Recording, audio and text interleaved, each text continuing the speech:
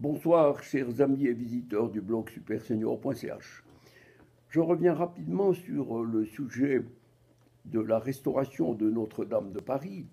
Donc Notre-Dame de Paris, pas Notre-Dame de l'Élysée, pour vous dire que je viens de lire un article qui a paru euh, aujourd'hui, ou le 28 mai également, le projet de loi de Notre-Dame a été vu au Sénat, les critiques ont été, nombreuses, les députés ont exprimé leurs opinions, bref, tout cela serait très joli si le Sénat avait le même pouvoir que l'Assemblée nationale. Or, tout ce que le Sénat a demandé et raconté sera naturellement balayé par la deuxième lecture qui aura lieu prochainement à l'Assemblée nationale et le Sénat en sera pour ses frais.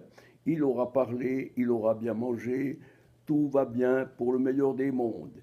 Mais ce qu'on doit savoir ici, c'est que l'Assemblée nationale est entièrement dévouée au président Macron et à ses amis, à ses sponsors.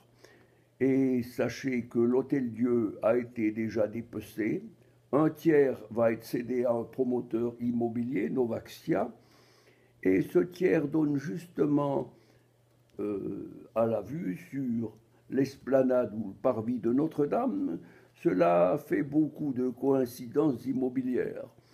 Bref, je crois que les Français devraient se rendre compte qu'il faut un changement profond des institutions. Le Sénat est une chambre qui ne sert à rien. Que l'on fasse donc comme en Suisse où L'Assemblée nationale, c'est le Conseil national.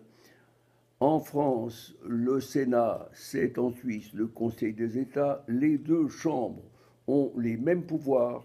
Il faut un consensus entre les deux.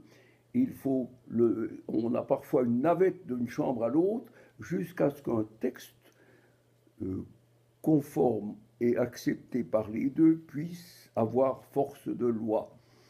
Bref, la France est actuellement un pays totalitaire dont le président est celui qui tire toutes les ficelles d'en bas alors que lui-même est tiré par les ficelles de ses maîtres d'ailleurs.